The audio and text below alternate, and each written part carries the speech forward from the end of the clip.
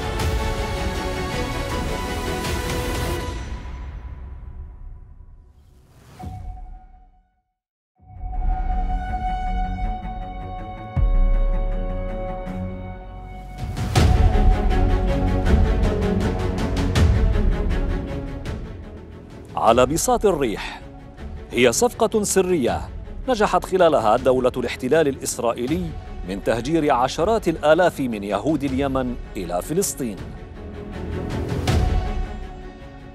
في هذا الفيلم نتتبع تفاصيل تلك الصفقة منذ لحظة التخطيط لها مرورا بالدول والشخصيات التي ساهمت في إقناع يهود اليمن بالهجرة إلى بيت المقدس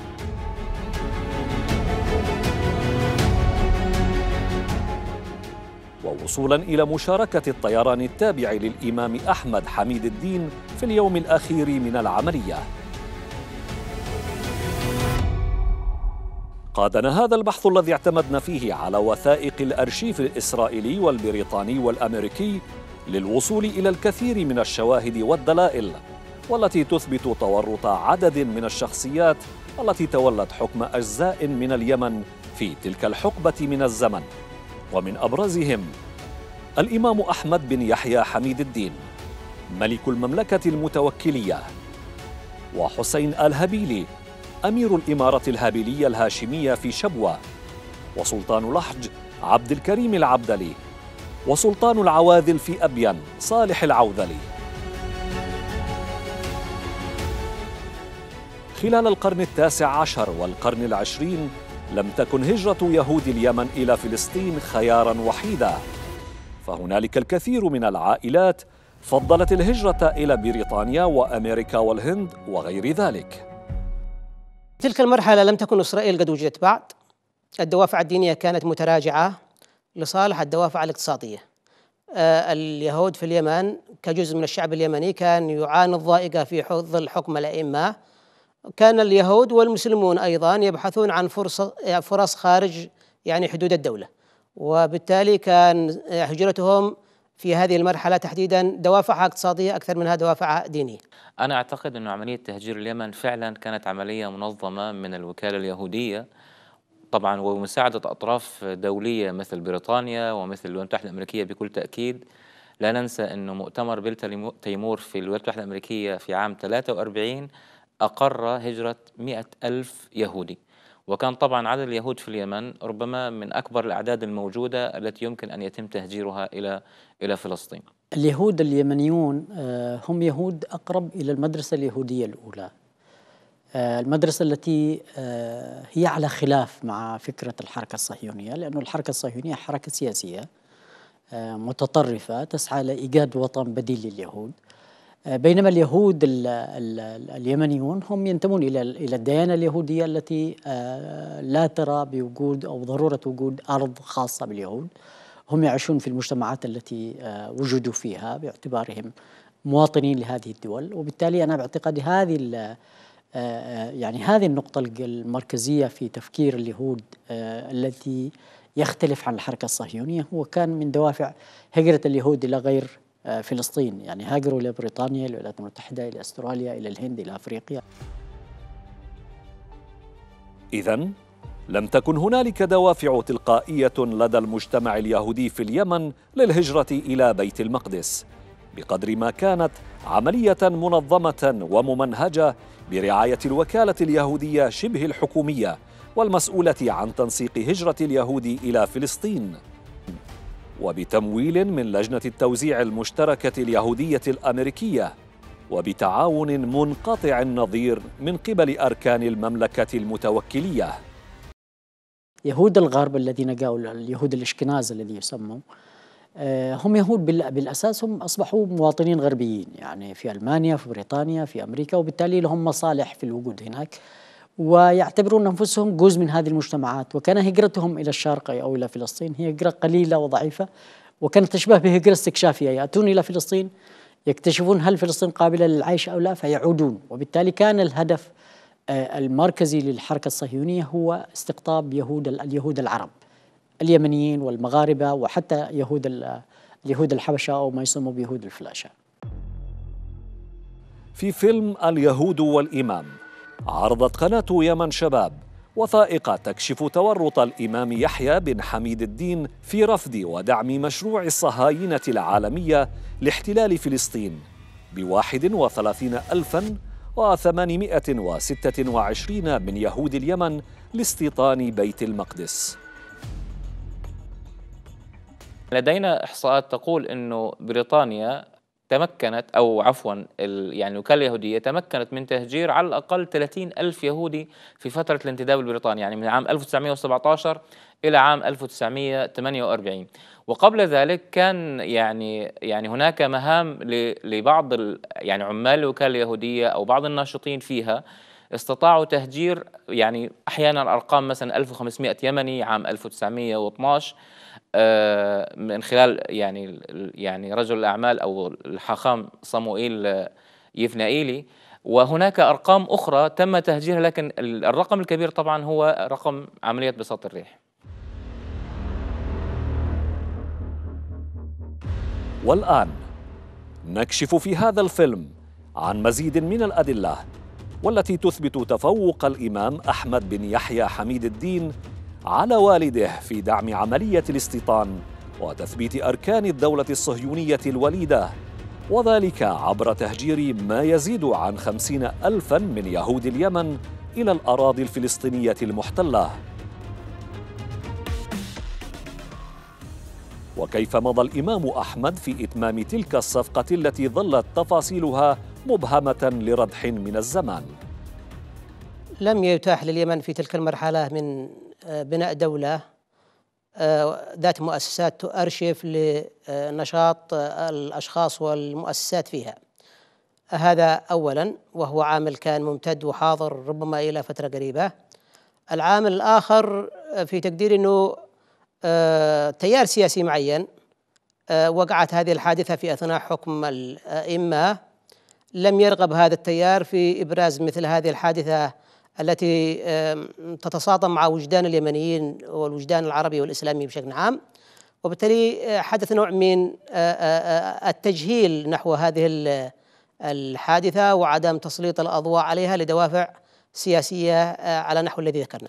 بالتالي كل الوثائق التي كانت حول هذه العملية أصبحت في إعداد الوثائق السرية التي لم يكشف عنها بعد يعني وبالتالي آه، أيضا في الجانب الآخر يعني كان لم يكن هناك دولة في جنوب اليمن آه، حينها آه، بمعنى آخر كانت عدن مستعمرة بريطانيا وكل أوراق العملية التي تمت في عدن ادرجت ضمن إرشيف المملكة المتحدة البريطانيه إنجلترا. بفشل ثورة 48 الدستورية وإعلان الإمام أحمد نفسه ملكا على اليمن كان مصير رواد الحركة الوطنية بين الإعدام بحد السيف أو الإخفاء القسري في سجون حجة أو النفي. وفشل هذه الثورة بتلك الطريقة التي رأيناها آه، واحدة من المخاوف التي دفعت الإمام إلى أن يقدم خدمات للاستعمار البريطاني في عدن. ويقدم خدمات عموما للمنظومة الاستعمارية حينها من الصهيونية إلى الولايات المتحدة إلى البريطانيين إلى غيرهم. فكانت عملية بساط الريح هي اختبار حقيقي لانخراط الإمام. فباعتقادي أنه الإمام كان مدفوع من هذه المخاوف أنه كيف يحافظ على عرشه آه، من خلال التشبيك مع المخابرات الدولية التي آه، أيضا طرحت ضمانات للإمام باستمراره في الحكم بالطريقة التي رأيناها. بإخماد المعارضة اليمنية بدا الباب مفتوحا على مصراعيه لتلبية تلك الرغبة الملحة للمنظمة الصهيونية. في تقدير الشخصي إنه يعني الأنظمة الضيقة غالبا لا تضيق الآخر والأنظمة الضيقة غالبا تكون نظرتها أنانية. بمعنى إنه المهم إنه يعني ينتهي سطع وجود يهودي يهود في اليمن كما يتصوره. أن يكون ذلك على حساب فلسطين أن يكون ذلك على حساب المسلمين في في في فلسطين أن يكون على حساب الاستقرار في المنطقة العربية هذا أمر لم يكن وارد يعني في في ذهن الإمام أحمد وإلى حد ما في ذهن الإمام يحيى في تلك المرحلة ل يعني آه، آه، دواعي أنانية بدرجة أساسية. يعني التركيز على أنه يعني يحكم اليمن آه، يمالئ البريطانيين يتخلص من اليهود لأنه هذا النوع من التيار لديه شكوك لدى الاخرين ايا كانوا حتى لو كانوا مسلمين فمالك غير مسلمين על הקמת מדינה יהודית בארץ ישראל היא מדינת ישראל. عشية إعلان المجلس اليهودي الصهيوني إقامة دولة إسرائيل بلغ عدد يهود اليمن حوالي 32 ألف مستوطن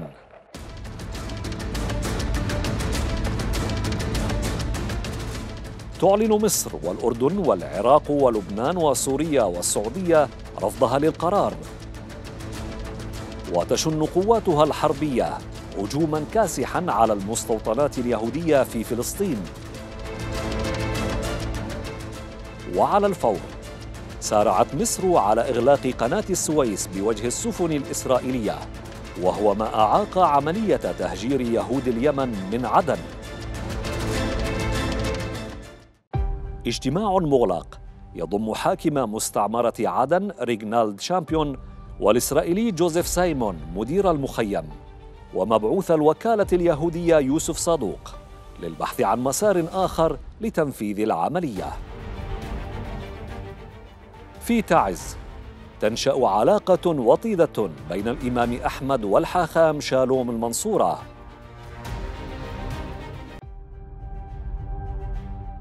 تواصل الوكالة اليهودية عبر مكتبها في عدن مساعيها لتجنيد عدد آخر من اليمنيين للعمل لصالحها. عندما التقيت بهم أخبروني أنهم سبق وأنا استعانوا بوكيل الاستثمارات الإمام أحمد التاجر الجبلي. وكذا لجأوا لعدد من الأشخاص المقربين من الإمام أحمد بن حميد الدين حتى تقوم بإقناعه برغبة الوكالة اليهودية في ترحيل يهود اليمن إلى إسرائيل. يتمكن موظفو الوكالة من إقناع رجل الأعمال أحمد القريطي في العمل معهم لتهجير يهود اليمن. قالوا إنهم يريدوا أن يرحلوا اليهود اليمنيين الموجودين في معظم المناطق والقرى اليمنية إلى إسرائيل. وإنهم أختاروني لإنجاز هذه المهمة مقابل أتعاب مالية أحصل عليها لاحقاً. استعنا بممثل لقراءة نصوص تلك المقابلة.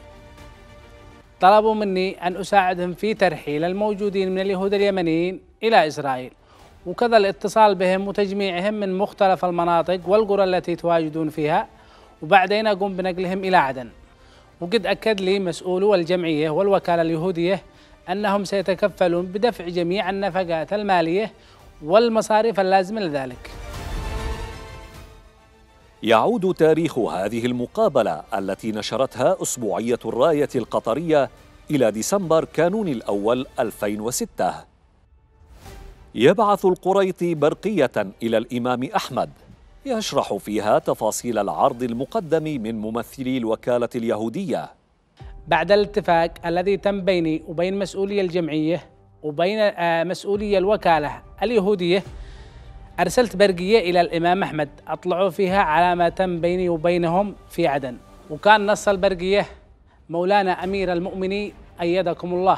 لقد اتفقت مع الجمعية اليهودية في عدن على إخراج اليهود من تبقى منهم. هل يأذن لي أمير المؤمنين؟ سيرافقنا في الحديث عن تفاصيل تلك المقابلة الصحفي نبيل الكميم. وهو الوحيد الذي تسنى له إجراء مقابلة صحفية مع الراحل أحمد القريطي. والصدفة قادتني إلى معرفة آه، شخصية وهوية أحمد القريطي الحاج أحمد القريطي. من خلال جلسة آه، جلسة اجتماعية كان تم فيها كان يتم فيها الحديث حول كثير من القضايا ومن بينها قضية اليهود وهم اليهودية. فذكر أحدهم اسم الوالد الحاج أحمد القريطي. وقتها لمعت في ذهني هذه الفكرة. أه من هو أحمد القريطي ماذا كان يعمل؟ ما دوره؟ ما هي المهمة التي قام بها؟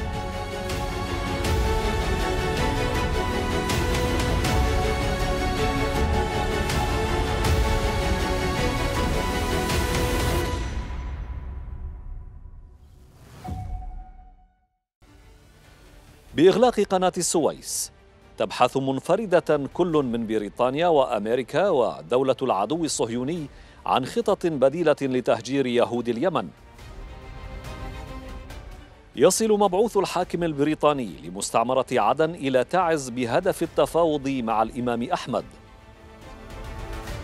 تقتضي خطة إنجلترا بالسماح لليهود بالسفر إلى الحديدة والانتقال منها بحرا لجزيرة كامران الخاضعة حينها للاحتلال الإنجليزي. ومن هناك يتم الانتقال جوا عبر الطيران البريطاني. كان الخيار اللجوء إلى الطيران لأنه الطيران كان آه، حينها آه، أسرع وأجدى صحيح أنه كان العملية مكلفة ماليا لكن بالنسبة لهم كانت آمن لأنه لا يضمنون أمن نقل اليهود وخاصة بعد مجزرة عدن آه، التي حصلت والمواجهة التي حصلت بين المواطنين في عدن وبين اليهود حينها. وراح ضحيتها تقريبا 82 يهودي حينها. آه، فاعتقادي إنه كان الجانب الهاجس الأمني بالنسبة لليهود آه، أو للوكالة اليهودية حينها. آه، كان أنا أعتقد هو السبب والدافع الرئيسي في تحويل العملية أو عملية النقل إلى الجو وليس إلى البر أو البحر. أنا باعتقادي هذا الدافع الذي أوقف نقلهم عن طريق جزيرة كمالان. تعلن إسرائيل عن تأسيس طيران العال الإسرائيلي وتسعى الشركة لتولي عملية نقل اليهود جوا من مطار عدن لكنها تتراجع. استخدام الطيران العال الإسرائيلي المباشر كان يعني من وجهة النظر المنظمة الصهيونية يمثل خطر بإمكانية تعرضها للقصف جوي. تعرض هذا الطيران للضرب من قبل القوات من قبل أيمن يعني مصر على سبيل التحديد. نتيجة إنه كان هذا الأمر كان في نوع توتر عالي في المنطقة بعد حرب عام 1948 كانت كل المجتمعات العربية غير متقبلة لهذه الفكرة تماما قيام دولة إسرائيلية في في فلسطين. وكانوا خايفين جدا مما أضطرهم أيضا ل أيضا فكرة الخطوط الجويه الإسرائيلية العال. حينها كانت فكرة وليدة وبسيطة يعني لم تكن تمتلك الإمكانيات الكبيرة التي تؤهلها القيام بهذه العمل بعملية بهذا الحجم يعني. على إثر ذلك تمكنت شركة طيران ألاسكا الأمريكية من إقناع سلطات الاحتلال الإسرائيلي بتولي المهمة. ترفض سلطة الاستعمار الإنجليزي في عدن ذلك وتضع العراقيل. خلال شهر يونيو حزيران 1948 توجهت شركة ألاسكا إلى السلطات البريطانية في عدن وطلبت الإذن بالموافقة على الهبوط وتعبئة الوقود. لكن السلطات البريطانية رفضت ذلك لأنها أرادت أن تتولى تنفيذ عملية النقل الشركة الرسمية للطيران البريطاني. بعد مفاوضات طويلة توافق سلطات الاحتلال البريطاني على منح شركة ألاسكا تراخيص الهبوط. شريطة أن لا تتزود طائراتها بالوقود من مطار عدن. تتخذ شركة الطيران الأمريكية من أسمرة في إريتريا محطة للتزود بالوقود.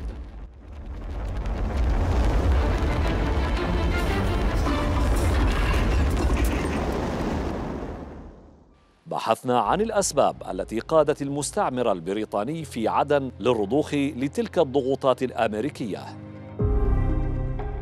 يذكر مساعد وزير الداخلية الإسرائيلية جاكوب فانشتاين في مذكراته والتي نشر أجزاء منها في الصحافة الإسرائيلية بعضا من تلك التفاصيل المغيبة. وصلت إلى عدن في الثاني عشر من مايو أيار للعام 1948 من أجل السماح بهجرة يهود اليمن. كانت مهمتي تقتضي الحصول على موافقة ثلاث جهات. الحاكم البريطاني ومساعديه في عدن. حكام السلاطين الذين كان على يهود اليمن أن ينتقلوا عبر أراضيهم. ملك اليمن الإمام أحمد. يمضي فنشتاين نحو تنفيذ المهمة الموكلة إليه.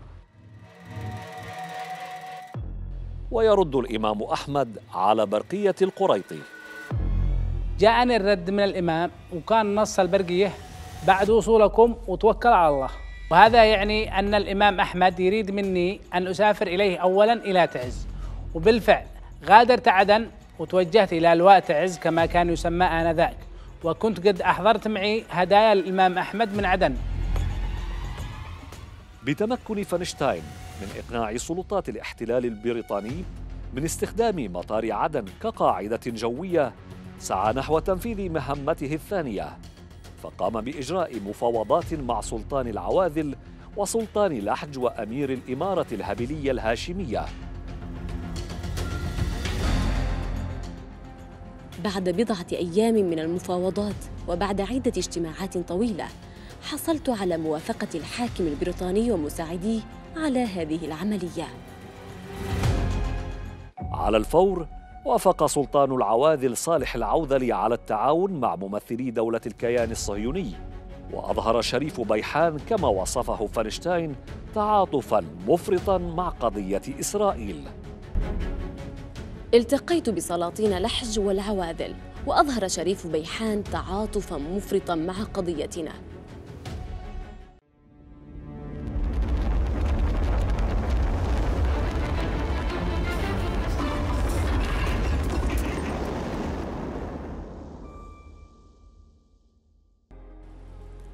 بدأت المرحلة الثانية بخطة اتفق عليها الإمام اليمني والبريطانيون في عدن وسلاطين المحميات وإسرائيل ومجلس التوثيق.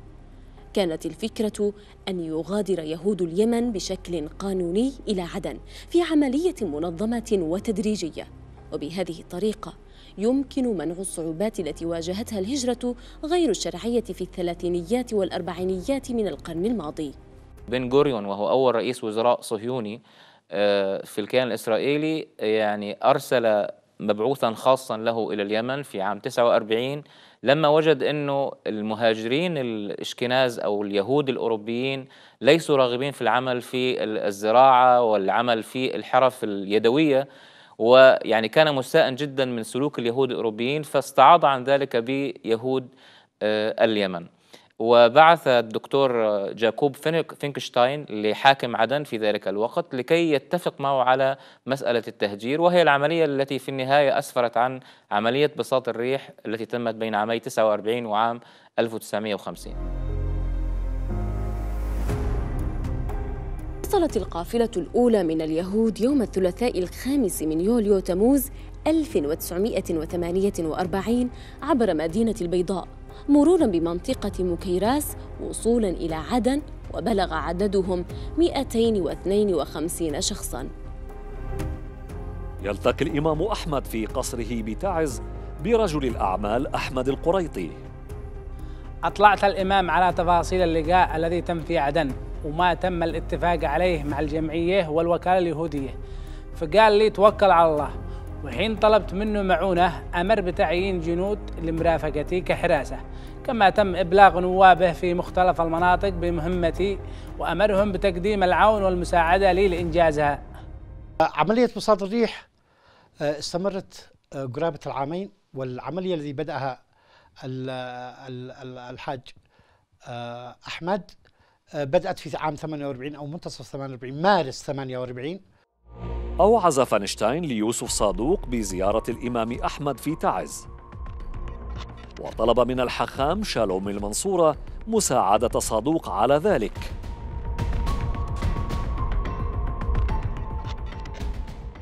كان يوسف صادوق يحرص على ارتداء الأزياء اليمنية وحكى في مذكراته عن ذلك الغطاء الذي تمكن عبره من التسلل إلى تعز.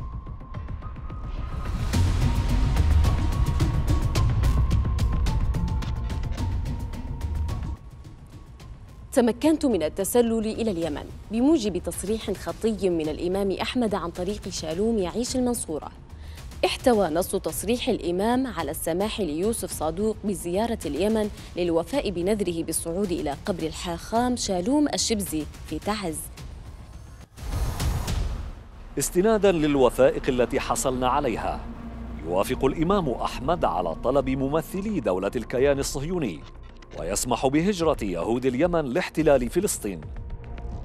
في يناير كانون الثاني 1949 وافق الإمام أحمد على خروج اليهود ولكن حتى شهر إبريل نيسان لم تصدر الموافقات الرسمية.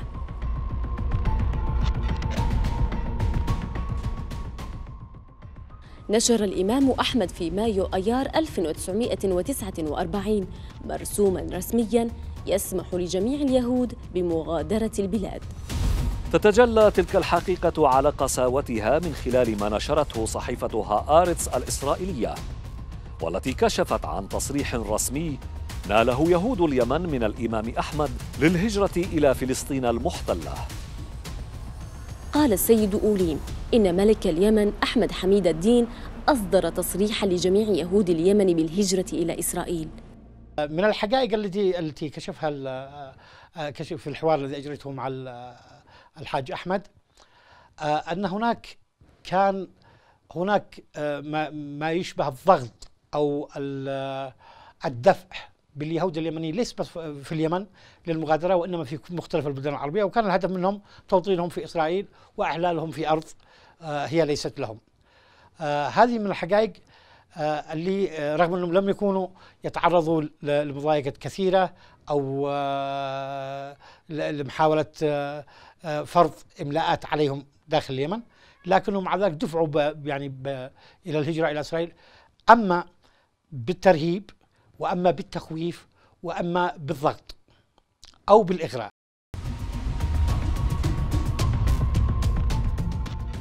حصلنا وبشكل حصري على هذه الوثيقة التي تحمل خط وتوقيع الإمام أحمد.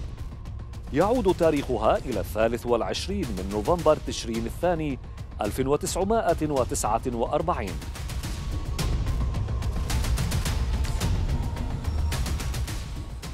وتضمنت هذه الوثيقة توجيه الإمام أحمد بالسماح لليهودي يوسف صادوق بالذهاب إلى عدن والعودة بعد عشرة أيام لتهجير اليهود.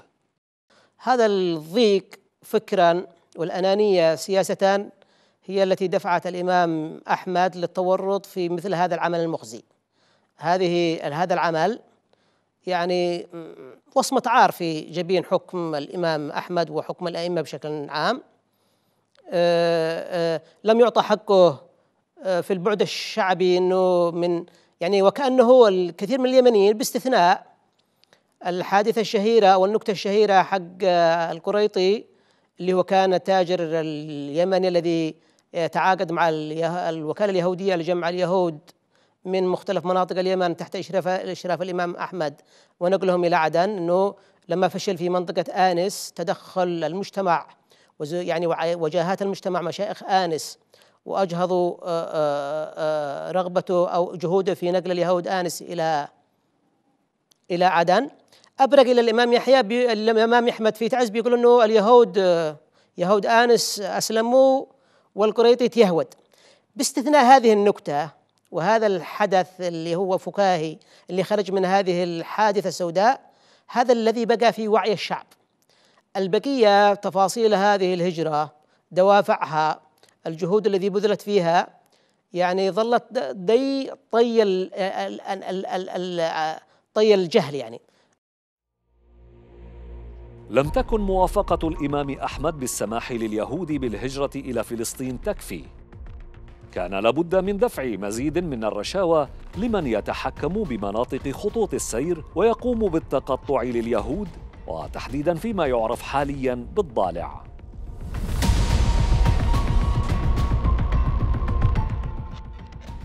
تم ضبط مجموعة من اليهود المهاجرين وهم في طريقهم إلى عدن ولم يسمح لهم بالمرور إلا بعد إعطاء رشاوى كنت أقوم بدفع رسوم مقابل السماح لهم بالخروج من بعض المناطق والسلطنات في الجنوب في سلطنة لحج والضالع.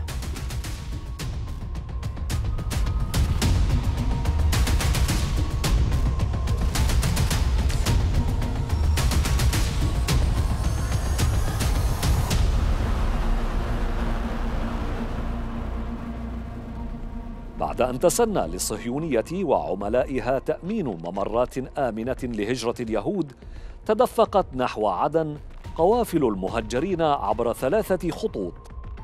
انطلقت قوافل القادمين من الشرق نحو الإمارة الهابيلية الهاشمية في بيحان حيث كانت تنتظرهم طائرات بريطانية لنقلهم إلى عدن.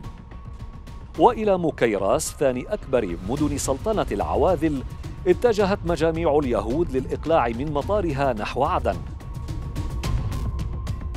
فيما كان المسار الثالث عبر تعز مشيا على الأقدام وصولا إلى سلطنة لحج حيث تولت الشاحنات والعربات عملية نقلهم إلى مدينة عدن. الأمراء السلاطين السلطنات المذكورة هم كانوا تحت الاحتلال البريطاني. وبالتالي آه، آه، آه، يعني يدارون بشكل أو بآخر من قبل الاحتلال البريطاني. إضافة إلى ذلك كان الوعي غائب في هذه المرحلة الحرجة من التاريخ، وبالتالي كان إسهام المجتمع في مقاومة مثل هذه الأعمال ضعيف إلى حد كبير، باستثناء الدور الذي قام به مشايخ آنس لم نلمس أي دور لا للسلاطين ولا للوجهات الاجتماعية أخرى ولا للآخرين. هذا الزمان علينا ما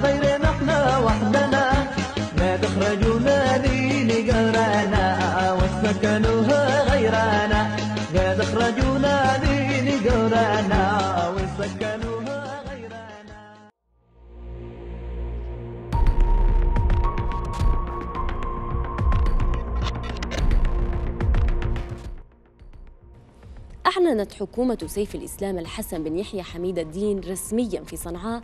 كل يهودي يجوز له مغادرة البلاد نهائيا بشرط أن يبيع ممتلكاته أولا. بالطبع لا يمكن إغفال أنه يكون إغفال أن يكون هناك بعض الأشخاص أو آه بعض الأشخاص ممن هم آه قريبين من سلطة الحكم أو على صلة بالنشاط. السياسي للحكم أن يكونوا متورطين أو متعاونين أو متواطئين مع ما تم في عملية ترحيل اليهود اليمنيين. لأنها مثل هذه العملية لا يمكن أن تتم بمعزل عن مساعدة جهات وأشخاص آه، مرتبطين آه، بحكم الأئمة. هذا شيء طبيعي متعاونين أو آه، أو مجبرين. متعاونين أو مجبرين على أن ينفذوا تنفيذ أن ينفذوا ما يملى عليهم من توجيهات من قبل الإمام الذي سمح للقريطي أن يقوم بعملية آه، السفر إلى مختلف المناطق التي يتواجد فيها اليهود اليمنيين وحثهم على السفر إلى إسرائيل. وكان كلما يلتقي بمجموعة منهم يظهر لهم خطاب من الإمام آه، إلى آه، من كانوا مسؤولين في المناطق من نواب الإمام من كانوا يسموا بنواب الإمام. الذين سهلوا له مهمة الالتقاء باليهود والذي سهلوا له آه، الوصول إلى تجمعاتهم والالتقاء بهم. تظهر هذه الصور أجزاء من المخيم الإسرائيلي في عدن. كان هو المخيم الوحيد الذي تمكنت الصهيونية من إنشائه في دول العالم الإسلامي.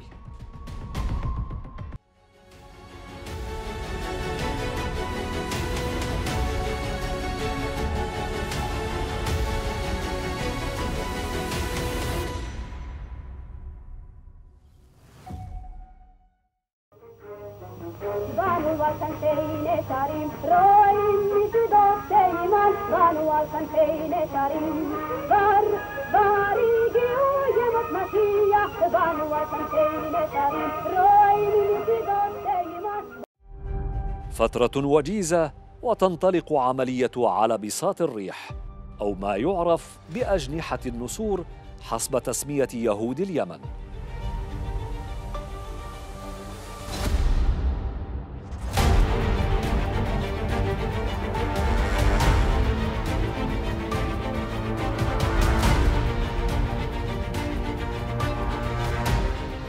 والنتيجة 380 رحلة جوية. نقل على متنها ما يزيد عن خمسين ألفا من يهود اليمن على مدى 660 يوما.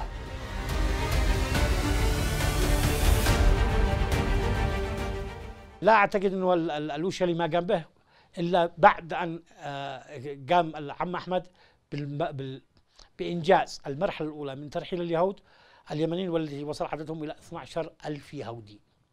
ومن ثم قام الوشلي فيما بعد بتكليف التاجر مفتاح أو أحد اليهود ويلقب بمفتاح بإتمام العملية.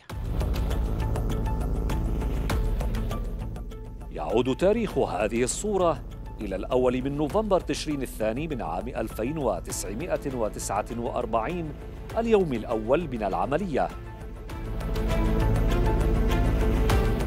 تمكنا وبشكل حصري من الحصول على هذه المشاهد التي تعرض ولأول مرة والتي توثق لحظة مغادرة عشرات من يهود اليمن على متن خطوط طيران ألاسكا الأمريكية. آلجن مارين لونغ هو أول طيار ملاحي استعانت به ألاسكا شارك مع طاقمه في نقل ثمانية عشر ألفا من يهود اليمن.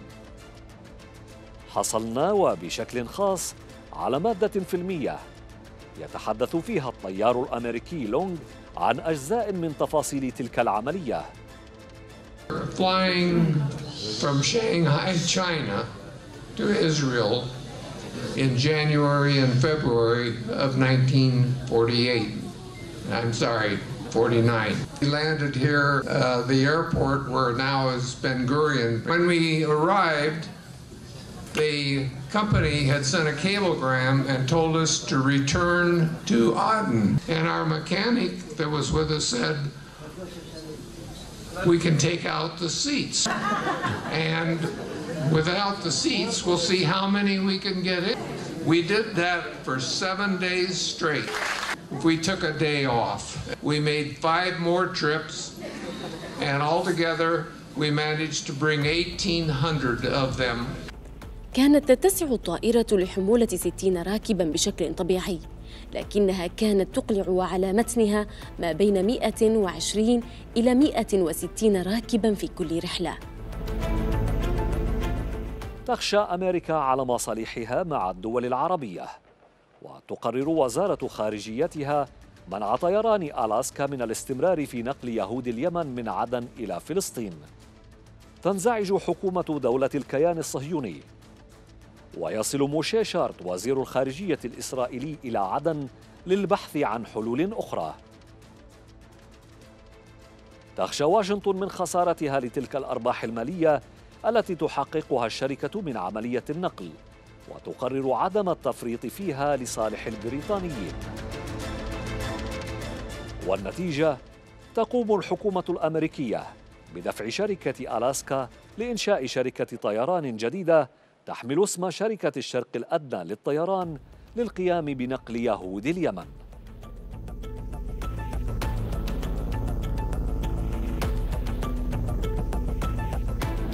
كانت الطائرات تحمل شعار خطوط ألاسكا الجوية ونتيجة لتغير سياسة الحكومة الأمريكية. تم إنشاء شركة الشرق الأدنى للنقل الجوي. تم تشكيلها خصيصاً لنقل المهاجرين. وتم طلاء طائرات ألاسكا بالشعار الجديد وتم تسجيل أرقام الطيران الكوبي على ذيل الطائرة. استغرقت تلك العملية وقتا طويلا جدا في تثبيت وتسجيل أوراق هذه الشركة. لذلك تأخر نقل اليهود من عدن لعدة أشهر. كان اليهود الذين يقومون بمغادرة مناطقهم يصارحونني بصراحة أنهم يخافون من قيام الوكالة والجمعية اليهودية في عدن من نهب ومصادرة أموالهم وممتلكاتهم الثمينة ولأنهم كانوا يثقون بي فقد سلموا لي كل أموالهم ويطالبوني بالاحتفاظ بها عندي. وقبل موعد إقلاع الطائرة أقوم بتسليمها لهم دون علم موظفي الوكالة. ما ذكره القريطي. وجدناه في العديد من المراجع التاريخية ليهود اليمن وفي سجلات أرشيف الصحافة الإسرائيلية. من بين تلك الوثائق استوقفتنا تلك الشهادات التي أوردها موشي جافرا في كتابه الحائز على جائزة رئيس دولة الكيان الصهيوني. التقى المؤلف مع حوالي ألفين من يهود اليمن وكانت هذه خلاصة أحاديثهم. بعد وصولنا إلى إسرائيل اكتشفنا أن إدارة المخيم وطاقم الطائرة سرقوا ما بحوزتنا من مجوهرات. لقد قاموا أيضا بسلبنا عشرة آلاف مخطوطة يمنية وفي ظروف غامضة اختفى المئات من أطفالنا وزعموا أنهم ماتوا دون أن يدعونا نرى جثمانهم أو نعرف قبورهم حتى. بكل تأكيد الحركة الصهيونية ليست حركة يعني أخلاقية أو حركة إنسانية. فأن يتعرض يهود اليمن بعد التهجير لقدر من التمييز أو الاستيلاء على يعني أعمالهم أو أو حتى مخطوطاتهم إلى آخره يعتبر هذا شيئا طبيعيا جدا بالنسبة لتاريخ الحركة الصهيونية.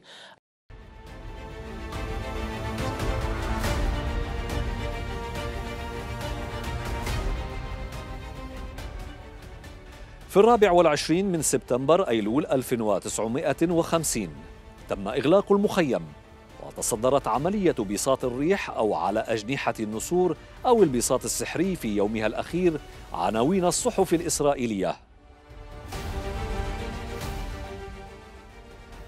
الانتهاء من عملية بساط الريح تم إنفاق حوالي سبعة ملايين دولار على إنقاذ يهود اليمن. تم تنفيذ الرحلة اللذيذة إلى إسرائيل في ظل ظروف صعبة. المسافة بين النقطتين تشبه المسافة بين سويسرا وإسرائيل. تنتهي اليوم عملية على أجنحة النسور بعد أن تمكنت حكومتنا من نقل أكثر من خمسين ألف يمني إلى إسرائيل. ونحن في المرحلة الأخيرة من إنتاج هذا الفيلم. نطالع تلك المعلومات التي تحدثت عن مشاركة طيران النظام الإمامي في نقل اليهود جوه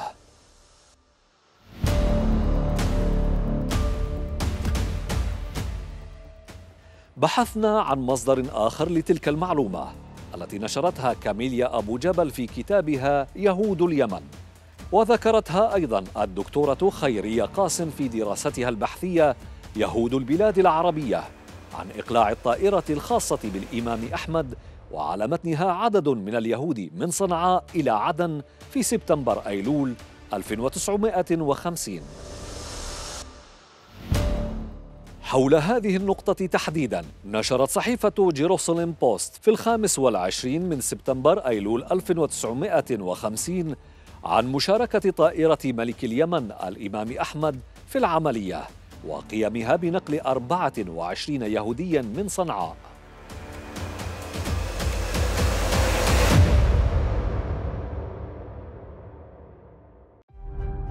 في الأسبوع الماضي هبطت طائرة ملك اليمن الإمام أحمد في مطار عدن وعلى متنها 24 من يهود اليمن قادمين من مطار صنعاء.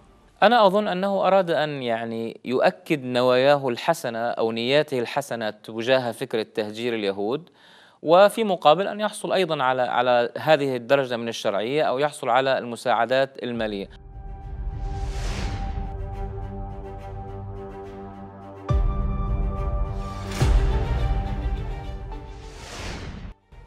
بذلك تنتهي العملية وتنجح دولة الاحتلال الصهيوني بتهجير خمسين ألفا ومائة وسبعة وخمسين من يهود اليمن خلال ما عرف بعملية بساط الريح وفقا لسجلات الجهاز المركزي للإحصاء. وصول أكثر من خمسين ألف يمني عبر خمسمائة رحلة جوية من عدن إلى تل أبيب. صورة نادرة. يعرضها متحف الشعب اليهودي للإمام أحمد ونجله الإمام البدر يلخص فيها تاريخ الرجلين بهذه العبارة. في زمانهم سمح لليهود اليمنيين بالهجرة إلى إسرائيل. هو أعتقد أن الحركة الصهيونية قدرت هذين الرجلين باعتبار أنهما قاما بخطوة ربما لم تجرؤ دول عربية أخرى على القيام بنفس الخطوة. يعني في حالات أخرى مثلا مثل العراق مثلا تمت تفجيرات لكي يتم أو استهدافات لأماكن محلات يهودية أو مساكن يهودية حتى يتم تهجير يهود العراق إلى إلى فلسطين. وهذا طبعا كله جاء بعد قيام الكيان. لكن الهجرات الأكبر كانت تحدث من اليمن في الحقيقة يهود اليمن خصوصا قبل قيام الكيان الإسرائيلي. وبعد ذلك عملية الكبيرة التي تمت عامي 49 و50 فيعني في الحقيقة بالنسبة للحركة الصهيونية الإمام أحمد ووالده الإمام يحيى أديا خدمة يعني ربما تردد كثير من ملوك العرب في القيام بنفس الخدمة. هنا نتساءل عن المكاسب التي نالها النظام الإمامي نتيجة لتواطؤه مع توطين اليهود في فلسطين. لا شك أنه كان نصيب الإمام من هذه المبالغ نصيب كبير منها وبالتالي كان البعد التجاري أيضا حاضر جدا لدى الإمام في تلك العملية. تتبعنا جزءا من أموال تلك الصفقة التي حصل عليها الإمام أحمد من دولة الكيان الصهيوني. تكشف هذه الصور عن نماذج من تلك الاستثمارات والممتلكات العقارية التي كانت تعود ملكيتها للإمام أحمد بن يحيى حميد الدين في مدينة عدن. هنا التقينا بالباحث في شؤون الطائفة اليهودية حسين الوحيشي وسألناه عن تلك الاستثمارات. وكان ينزلهم القريطي من صنعاء إلى تعز وكان يستقبلهم حاميم السروري شيخ الراهدة وحمود الربيدي عضو مكتب الصهيونية في عدن. وكانوا يستقبلون في الفيوش ومعسكر جعولة وحاشد في الشيخ عثمان. الإمام أحمد في تلك الفترة حاول أن ينفتح على العالم وكانت له استثمارات في عدن وكان مندوبينه الجبلي والوجيه وبذلك اشترى مجموعة عماير في المعلة والتواي وكريتر كبداية استثمار وانفتاح على العالم الآخر. لم يخفي لم يخفي أنه حصل على على أموال من الوكالة اليهودية والذي أبرم معها الاتفاق في عدن. ولم يخفي أنه طغى أنه أنه ان العملية يعني عادت إليه بعض الأرباح المالية. لم يخفي ذلك. وفي العشرين من نوفمبر تشرين الثاني 1950 تكشف صحيفة هآرتس عن تلقي ملك اليمن الإمام أحمد سيارة أمريكية جديدة بقيمة 25 ألف دولار.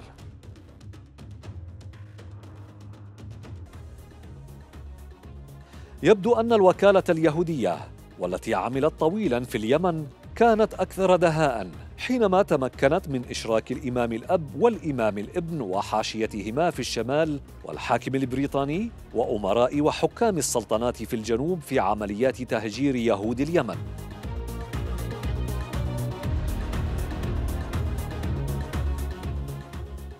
والنتيجة لم يقم أحد باتهام الآخر أمام الرأي العام اليمني بمساعدة إسرائيل على احتلال فلسطين. أنا باعتقادي كل الذين كانوا حينها الأمراء والسلاطين والمشايخ الذين كانوا يحكمون سلطنات جنوب اليمن آه، هم كانوا يفكروا بنفس عقلية الإمامة. يعني المسألة كانت بالنسبة لهم عملية تجارية بحتة يعني. فأنا باعتقادي أنه هؤلاء الأمراء أمراء والسلطنات في لحق وأبيان وغيرها من المناطق اليمنية والسلطنات اليمنية حينها آه، كان لهم دوافع اقتصادية وأيضا دوافع سياسية هذه الدوافع السياسية تتمثل ب آه، يعني آه، تنسيق مع البريطانيين والائتمار بأمر البريطانيين مقابل الامتيازات التي كانوا يحصلون عليها ومقابل بقائهم في عروشهم وفي كراسيهم حينها. ربما كانت الرسالة التي أراد الوالد أحمد أن يقدمها للناس أنه آه الكل كان متواطئ بدون استثناء من النخبة السياسية إلى إلى موظفي دولة إلى موظفي آه نظام الكل كان متواطئ في تنفيذ تنفيذ أحكام الأئمة الإمام أحمد وتنفيذ آه، تنفيذ أوامره بعملية مساعدته على ترحيل اليهود اليمنيين. ربما من أكبر يعني المساوئ النظام الإمام يحيى والإمام أحمد تورطهم في مثل هذا العمل المشين الذي آه، هو مساهمة بشكل أو بآخر في قيام دولة إسرائيل مساهمة بشكل أو بآخر في انتزاع الأراضي من الفلسطينيين هذه الوصمة عار لا يكافيها أو لا تتوازى مع أي مكسب ان يحققه نظام الأئمة في تلك المرحلة. في حديثه معي أو في خلال المقابله قال إنه آه ما قام به ما قام به من عمل من ترحيل اليهود اليمنيين إلى إسرائيل إلى فلسطين بأنه عمل مخزي وعمل عيب. وأنه لو عاد به الزمن إلى ما كان آه عليه لما قام بهذه المهمة. بنهاية عملية على أجنحة النسور وصل عدد المستوطنات اليهودية لليمنيين إلى 52 مستوطنة في جميع أنحاء إسرائيل. لم تنتهي القصة هنا بعد مرور سبعين عاما. تقوم جماعة الحوثي المعروفة بكونها الامتداد السياسي والطائفي والثقافي للنظام الإمامي باستكمال مسيرة أسلافها عبر تحقيق رغبة دولة الاحتلال الصهيوني في تهجير ما تبقى من يهود اليمن إلى الأراضي المحتلة.